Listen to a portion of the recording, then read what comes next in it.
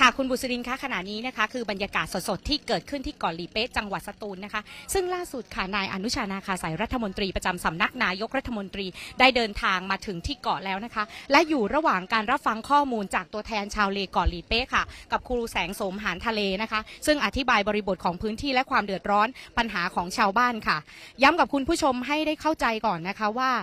นายอนุชานาคาสายลงพื้นที่ในครั้งนี้ไม่ใช่เฉพาะบทบาทของฝ่ายนโยบายนะคะที่จะต้องแก้ไขปัญหานี้ แต่ท่านยังเป็นประธานคณะกรรมการติดตามการฟื้นฟู วิถีชีวิตกลุ่มชาติพันธุ์ชาวเลและชาวกะเหรี่ยงนะคะ ซึ่งมีอำนาจโดยตรงค่ะ ต่อการแก้ไขปัญหาข้อพิพาทนะคะ ที่เกี่ยวกับความขัดแย้งแล้วก็ปัญหาในพื้นที่ของกลุ่มชาติพันธุ์ค่ะ แล้วก็คณะ กรรมการชุดนี้นะคะถูกตั้งขึ้นมาค่ะ ภายหลังจากที่กลุ่มขบวนการประชาชนเพื่อสังคมที่เป็นธรรมหรือพีมูฟได้มีข้อเรียกร้องไปยังคณะรัฐมนตรีนะคะ ซึ่งหนึ่งในข้อเรียกร้องก็คือเรื่องของการแก้ไขปัญหาและฟื้นฟูวิถีชีวิตชาวเลและชาวกะเหรี่ยงค่ะ และก็ออกหลังมีมติเห็นชอบของคณะรัฐมนตรีนะคะ ก็ได้มีการตั้งคณะกรรมการชุดนี้ขึ้นมาแก้ไขปัญหา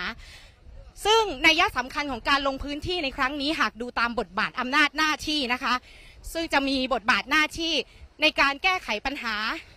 ในเรื่องความขัดแย้งและข้อพิพาทที่เกิดขึ้นในชุมชน ชาติพันธุ์โดยตรงนะคะ ซึ่ง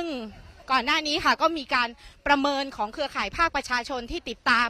ปัญหาเกี่ยวกับชาติพันธุ์นะคะ ก็บอกว่าอย่างน้อยๆค่ะ การลงพื้นที่ครั้งนี้ก็น่าจะมีทิศทางของการชะลอหรือบรรเทาความเดือดร้อนให้กับกลุ่มชาวเลได้นะคะ โดยเฉพาะเรื่องของการเปิดพื้นที่แก้ไขปัญหาเฉพาะหน้าค่ะ นี่คือบรรยากาศสดๆนะคะที่ชาวเลนะคะกำลังที่จะนำรัฐมนตรีนะคะ ไปยังจุดที่ เกิดปัญหาพื้นที่ทับซ้อนค่ะ เดี๋ยวเราไปฟังบรรยากาศสดๆ สั้นๆนิดนึงค่ะที่เซ็นเนี่ยเขาบอกว่าไม่เคยเซ็นเรื่องขออยู่อาศัยเลย แต่ว่าเอกสารตัวนั้นมาได้อย่างไร อันนี้หลายเจ้าเจ็ดสิบเจ็ดสิบราย คือไม่รู้เรื่องเลยว่าตัวเองไปเซ็นขออยู่อาศัย ไม่รู้ค่ะมันปฏิเสชาวธบ้านส่วนใหญ่เขาไม่ค่อยรู้หนังสื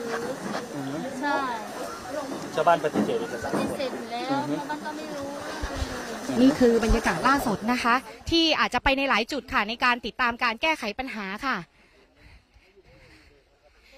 และนี่นะคะก็คือสิ่งที่เกิดขึ้นที่เกาะหลีเป๊ะนะคะ แต่สิ่งที่เราจะต้องจับตาหลังจากนี้นอกจากการลงพื้นที่นะคะ เพื่อที่จะสำรวจติดตามรับฟังข้อเท็จจริงของคณะทำงานของนายอนุชานาคาใสแล้วนะคะ ในเรื่องของการวางแนวทางที่จะแก้ไขปัญหาทั้งเฉพาะหน้าและระยะยาว โดยเฉพาะข้อเรียกร้องของการให้ตรวจสอบ เอกสารสิทธิ์ทั้งหมดในพื้นที่ไม่ใช่แต่เฉพาะที่เกิดกรณีล่าสุดนั้นนะคะ สามารถที่จะติดตามต่อกันได้นะคะเพราะว่าหลังจากลงพื้นที่นายอนุชาค่ะ จะไปประชุมร่วมกับหน่วยงานที่เกี่ยวข้องนะคะ ทั้งคณะทำงานและหน่วยงานในพื้นที่ด้วยนะคะ เพื่อที่จะแก้ไขปัญหาที่เกิดขึ้น วางแนวทางไปสู่การแก้ไขทั้งระยะสั้นและระยะยาวค่ะ